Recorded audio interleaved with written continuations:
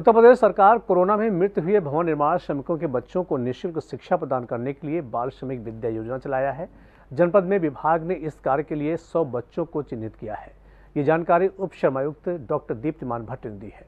देखिए, इसमें ऐसा है कि आगरा में मंडलायुक्त महोदय ने जो सभी विभागों को जो निर्देश इस संबंध में दे रखे थे कि अपने अपने विभाग की योजनाओं से उनके परिवार को लाभान्वित कराया जाए, जिस भी परिवार में बच्चा रह रहा है उनके अनाथ हो जाने के बाद।